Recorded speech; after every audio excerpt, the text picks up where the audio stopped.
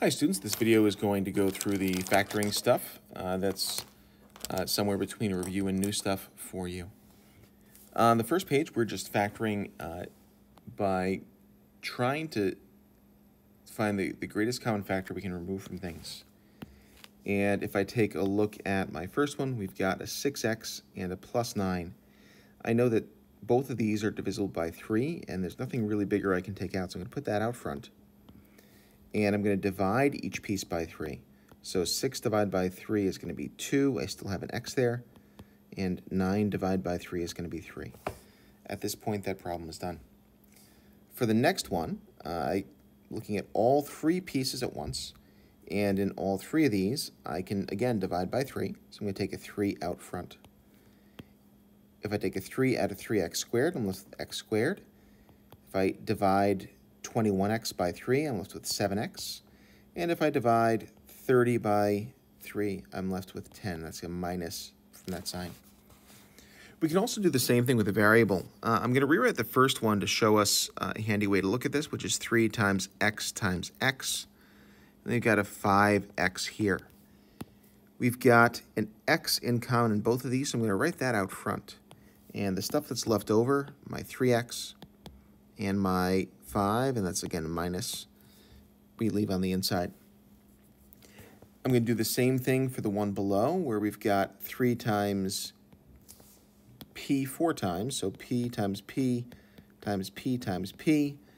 This would be p times p times p, and the last would be p times p. Um, I do not have anything I can take out in terms of the numbers, so let's see, I can identify one p in common, so I'm going to put that out front. And a second p in common. So I'm going to take, oh, but p times p is p squared, so I can put that out front. Okay. And then the stuff that's left over, I've got 3, and then 2 p's is p squared. We've got 15, and then p, and then minus 20. And the last set of these, we're looking both at numbers and letters. Uh, a lot of students find it easier to do the letter part first. We've got an n times n and an n. I can take one of those out. n squared divided by n would leave me with an n. I'm leaving some space there, and I wouldn't have an n left in the last part. Then I might look at the numbers. I can see 8 and 10. The biggest thing I can divide both of those by is 2. So I'm going to put a 2 out front, and 8 divided by 2 is 4. 10 divided by 2 is 5. Leave me with 2n times 4n plus 5. For the last one, I'm going to do the same thing. I'm going to look at my letters first, T, T, T, and T, T. So I can take two of those out. That's going to be a T squared, because that's T times T. Uh, I'm left with a T for the first part and nothing for the second part. All right, then we look at the number parts. I've got 12 and 30. Now, I know both of these can be divided by 2, but I can go bigger this time. Uh, both 12 and 30, I can divide by 6. So I'm going to put that out front. And we're going to do 6 times 2 gets us to 12. 6 times 5 gets us to 30. At this point, these are fully factored. So the first thing that we can do with this uh, process is to use this to solve equations. Uh, we've talked a little bit about the idea that when we're graphing these things, if we had something in factored form like x plus 2 and x minus 3, we know that this is going to be a parabola that is a positive parabola, in other words, concave up, and we can have x-intercepts at 3 comma 0 from this parentheses and negative 2 comma 0. What we're going to do here is to talk about kind of where that stuff comes from because uh, it's not going to be enough that we talk about just doing the opposite. Now we're going to show kind of the solving process for that. We're going to start with ones that are similar to what we had in the previous page. And I note that the instructions here are solved by factoring. Again, we're trying to find x-intercepts, also known as zeros or roots. And I'm going to look to see what I can divide both of those by. I can take an x out of both, and I can take a 3 out, so I'm going to divide both of those by 3. 3 divided by 3 is 1, and then I've got an x squared divided by x, leaving me with an x. For the other part, I've got 12 divided by 3 is going to be 4, and the x's are just 1, so that's fine. So here's the, the thing that's going to happen here. If I have two things that are multiplying to get an answer of 0, one of those two things must be 0. So the way we're going to deal with that is to take each part and set it equal to 0. So 3x equals 0. And then also 1x minus 4 is equal to 0. Solving these, I'm going to divide by 3. We get x equals 0. I'm going to add 4, and we get x is equal to 4. So we have two answers for this. And again, I want you to think about this in terms of our graph. We said that these are going to be our x-intercepts at 0 and 4. So we'd have a parabola that looks like this. For the one labeled 22, uh, I can do the same thing. We got 0 is equal to, and then I can take a 5x out of both of those. That would leave me with just an x and a plus 5. I'm going to take the same approach and take each part of this, because if this multiplies to get 0 as an answer, either 5x equals 0 or x plus 5 equals 0. you got to have both equations. Solving the first one, dividing by 5, we get x is equal to 0. Minus 5 to both sides, we get x is equal to negative 5. For the next one, here we've got the same situation going on. I've got a 2 in common, so I can divide both of those by 2, and I can take an a out of both as well. Uh, that's going to leave me with 2 times 2 to get 4, and an A. And then 2 times 5 for the second part. I'm going to do the same thing because this is still equal to 0. And we're going to have 2a is equal to 0. And then we're going to have 2a minus 5 is equal to 0. That gives us dividing by 2, a is equal to 0. And if I add 5 to both sides, we get 5 is equal to 2a. Dividing by 2, we end up with 5 over 2. For the last one, we have something that looks a little bit different. If you notice this and you say, hey, this one looks different to me uh, because this one appears to have nothing equal to 0, then you're right. We've got to set things equal to zero first, and that's going to be something we always have to do for quadratics. And when I say set equal to 0, I mean get everything onto the same side. So I'm going to minus 9x from both sides. We cannot combine those. Those are not like terms. We've got 3x squared minus 9x. And 9x minus 9x is 0. Now we can factor this. So we're going to factor. I can take a 3 out of both and an x out of both. Dividing that, I'd get an x, and dividing minus 9 by 3, I get a minus 3. All right, same story. We got 3x equals 0. And we got x plus, uh, sorry, x minus 3 equals 0. That gives me an x equals 0 and an x equals 3. Moving on, we talked about uh, we have to have some ways to do factoring of more complicated stuff, and that's what we're looking at here. Uh, so I'm going to write down some steps for this. These are going to be consistent for all of these things. Uh, we're going to break this up into something that looks exactly the same as this, but different. And by that, I mean that we're going to have two pieces on the inside here so that we can consider these as two groups of two instead of one group of three, because two groups of two we're going to be able to factor. The trick is deciding what those groups are going to be, and that's the hard part about this. To do this, we're going to talk about this in terms of A, B, and C being these numbers that we have here. And just to make this clear, a is the number in front of x squared, in this case 4. b is the number in front of the x, the coefficient, in this case 4. And c is the number by itself, in this case minus 3. So when we do this, the first step we're always going to do is to set up kind of a puzzle for us. We take our a number and our c number and we multiply them. In this case, that's 4 times negative 3, which is negative 12 we take our B number and we write it. So that's going to be minus 3. Sorry, 4. It might be nice if I actually looked at these things, huh? Um, so in looking at this, our goal is going to be to find numbers that multiply to A times C and also add up to 4. What I mean by that is I'm going to begin making a list of numbers that multiply to negative 12. So I might say, okay, 1 times negative 12. All right, that's multiplies to negative 12, but that adds up to negative 11. Uh, so that one doesn't work. Then we're going to try 2 times negative 6. That gets me negative 4 as an answer. That's going to be really close, but I want positive 4. Uh, I also notice that when I do that, uh, we got the opposite sign of what we wanted. So if we switch that to negative 2 and positive 6, then when we add those up, we get positive 4 as our answer. So that's going to be what we end up breaking our middle term up into. Uh, so let's take a look at this. Uh, the minus 2 and plus 6, those are going to be my coefficients. So it's going to be minus 2x and plus 6x.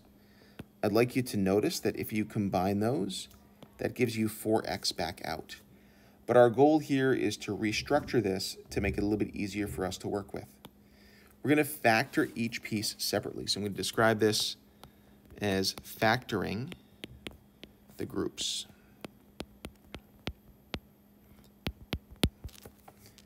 And for my first group, I can see that both of these can be divided by 2 and x. So I'm going to put a 2x out front.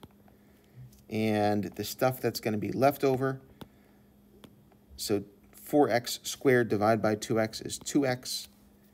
And minus 2x divided by 2x is going to be minus 1. For my second set of things, I'm going to do the same exact thing. I'm going to say, okay, look at these two pieces.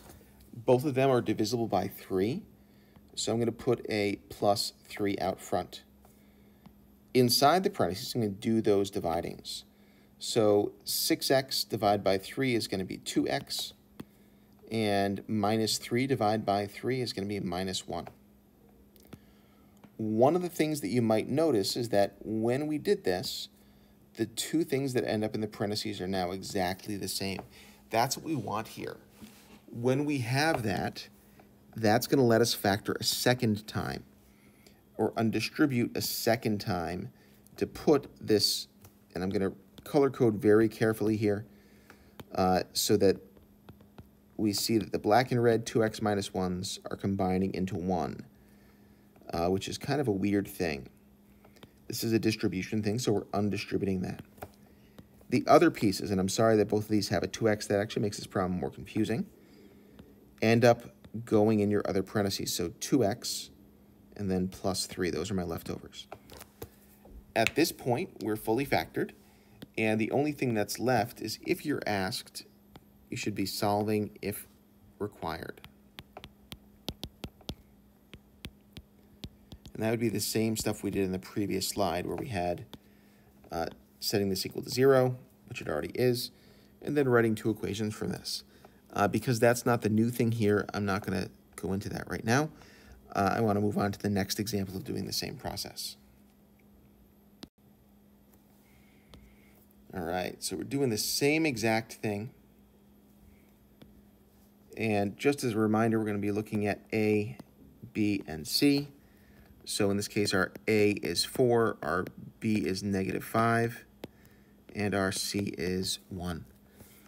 Okay, so first step, we're doing that A times C thing. In that case, we got 4, and B is going to be negative 5. One of the things that I notice here uh, is that I've got to add up to a negative number but I've got to multiply to a positive number. Uh, so it's probably a good idea for me to start with some negatives that multiply to 4. I know that negative 1 and negative 4 will give me a positive 4 as I multiply and as I'm trying to add up to negative 5. Those ones also happen to work. Uh, so I noticed that they had to be negative. The first ones that I tried, I always try 1 times whatever first, uh, gave me the answer I'm looking for. That's what we're going to break up our term into. So we're going to be write this as 4g squared and then minus 1x minus 4x is equal to 0. Um, I often find it's really helpful to include the 1 in front of x's, especially in this part of the year, uh, where we're doing with uh, a whole bunch of factoring stuff because that makes it a little bit easier to remind ourselves that even if you take an x out, a 1 is still going to be there. I also like that I used x instead of g, which is the variable for this problem. So let's switch those back to g's. All right, so the second part about this was that factor the groups. And again, I'm going to take a look at the first two separately and then look at the second two separately. The first two, I can take a g out. And if I do that, I'm left with 4g and a minus 1. See, that minus 1 was handy there. Uh, for the second two, I don't see anything that I can take out. Um, I do, however, know that this looks kind of similar to what I want. I want this to be 4g minus 1. And right now I've got minus 4g plus 1. One really good rule of thumb is if I have a minus here, I'm always going to take that out. And if there's nothing there that I can visibly take out, I'm going to put that as a minus 1. And think about this. So if we were to distribute this, we get minus 4g and a plus 1. So that would end up working for what we're trying to do here. Uh, when we end up doing this, we now have the situation where our parentheses are the same. That's going to come out front in our next problem, or next line down, rather. And then our leftovers, the g and the minus 1, are going to go in there. And again, if you're asked to solve, which again, we're not asked to do here, uh, we're just practicing this factoring stuff. Then you can go forward from there. Next up, we've got x squared minus 5x plus 6. A couple of things I want to talk about here. The first is that this is really 1x squared. So that means a is 1, b is negative 5, because that's what's in front of our x, and c is 6. So you've got a times c is going to be 6, and b, what we're adding up to, is going to be minus 5. So again, we're going to multiply to 6 and add up to negative 5. I know both of these have to be negative again. So negative 1 and 6, sorry, negative 1 and negative 6. That gets me positive 6, but if I add those, I get negative 7. Okay, it doesn't work. Negative 2 and negative 3. Well, if I add those up, I get negative 5. That one works. So I'm going to rewrite. We've got 1x squared. We've got plus 6 equals 0. Just keep that in black. And then in the middle, we've got a minus 2x and a minus 3x. And just to check, that means the same thing as 5x if I were to combine those. Once we do that, we're going to factor our groups. So we've got a 1x squared and a minus 2x. I can take an x out of both of those, and that leaves me with an x times, sorry, an x minus 2. For my second pair, I can take a 3 out, but I, we have a minus there again. I want to remind us that in the last problem, we talked about always taking a minus out if you could. That's a good strategy. And if I do minus 3 divided by minus 3, leaves me do the 1x. Cool, that's what we have there. 6 divided by minus 3 is going to be minus 2. That gives me what I need. Now I have the same thing in both parentheses. I'm going to use that to undistribute that out front. And then I've leftovers, I've got an x and a minus 3. So when we set that up, uh, again, if you want to continue solving, you can. But in this case, we're not going to. We're just going to practice factoring. All right, and here's one more. This is really similar to one of the ones that we did the first day of this in class. Uh, and I want to talk about two different things that are going on here. Uh, the first is that I can rewrite this because this doesn't look the same as what we had before. And if I were to rewrite this, I could rewrite this as x squared minus 49. And in the middle, what I'd like us to think about is that if I don't see something, I could write that as a plus 0x. The reason that I'm talking about this in this way is so that we can kind of see a pattern that's happening here. Uh, when I do this, again, we've got an A equals 1, B equals 0, and C equals negative 49. So if I think about my A times C, A times C is going to be negative 49, and I'm trying to add up to 0. That sounds weird, but if we think about things that multiply to 49, well, that's like negative 1 times 49. Definitely doesn't add up to 0. Uh, 2 doesn't work, 3 doesn't work, 4, 5, 6 don't work. At 7, we get negative 7 times 7. So this is a perfect square. The negative means we have to have a negative and a positive version. And when I try to add those up, I get 0 as an answer. Um, so that's what we're going to break that up into, is a minus 7x and a plus 7x. Then we've got our x squared and our minus 49 coming down. Okay, so let's do our factoring. If I take an x out, that leaves me with an x minus 7. For my next pair, if I take a plus 7 out, because both of those are divisible by 7, I'm left with an x minus 7. I've got an x minus 7 in both. That's the magic that we're looking for. That combines into one parentheses, leaving me with an x and a plus 7 for my other parentheses. What I'd like you to notice is that these are opposite pieces, and that when we multiply those together, it ends up causing those middle terms to cancel out. Sometimes we call this a difference of squares because one of the things that I notice here is that both x squared and 49 are perfect squares. If you notice that this is something that you see, you can jump straight to this factoring pattern and you don't have to go through these steps. If you'd rather go through those steps by putting in 0 in for b, that's totally fine as well. All right, let's look at some quick factoring just to kind of make sense of what's going on here and see if we're on the same page. All right, I'm going to start with my a times c. That's going to be negative 2 times 5 is negative 10. And my b is going to be negative 9 things that multiply to negative 10, I'm going to start with 1 times negative 10. That happens to add up to 9, so that works. Uh, sorry, it adds up to negative 9. So we get 5x squared plus 1x minus 10x minus 2 is equal to 0. All right, and we're just factoring. We're not actually solving, so we don't need the equals to 0. It's also not in the problem. Uh, I see a lot of students do that, so I just did the same thing. Cool. Uh, first one, I can take an x out. That leaves me with a 5x and a plus 1. And the second one, both of these are divisible by 2. Always want to take that negative out if I can just to see what happens. That leaves me with a positive 5x and a plus 1. We have the same parentheses. That's going to form our first thing, 5x plus 1. And then we've got an x and a minus 2. To check your answer, if you do that distribution out, we should get back to the same thing. Let's look at number 6. I'm going to start the same way. A times C is going to be 24 because 2 times 12 is 24.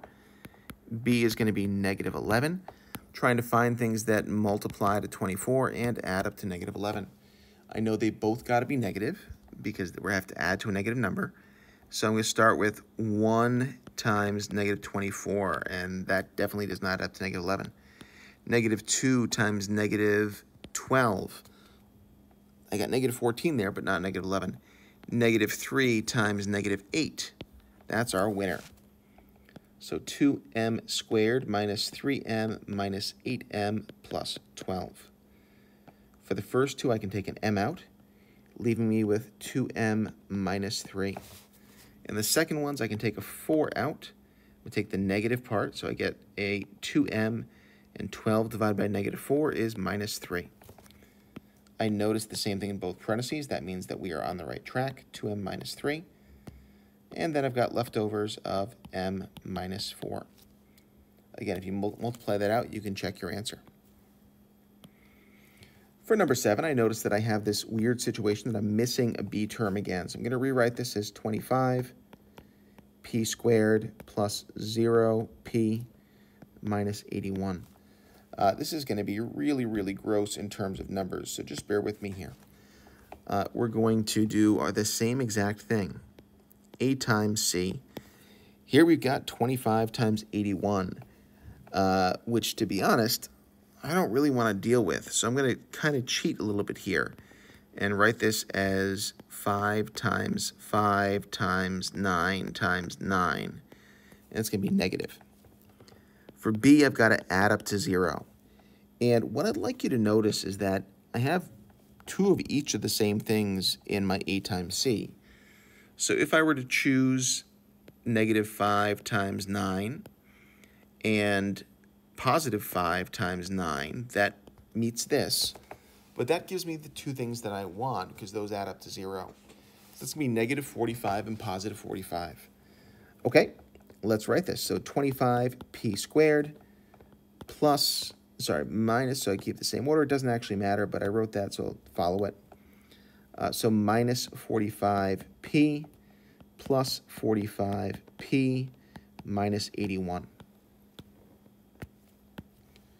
I notice that the first two, I can take a 5 and a p out. That leaves me with a 5p minus 9. The second pair, I can take a 9 out. That leaves me with a 5p and a minus 9. Those two are the same, so 5p minus 9. And then I've got a 5p and a plus 9 outside, so that goes in my other parentheses. I'd like you to notice that these are the same type of thing we saw on the previous page. We have the same terms, but a plus and a minus, so this is a difference of two squares also. And if you saw it that way, you could definitely factor it that way. We're doing the same thing here. We've got a times c equals negative 24, and we're trying to add up to negative 2.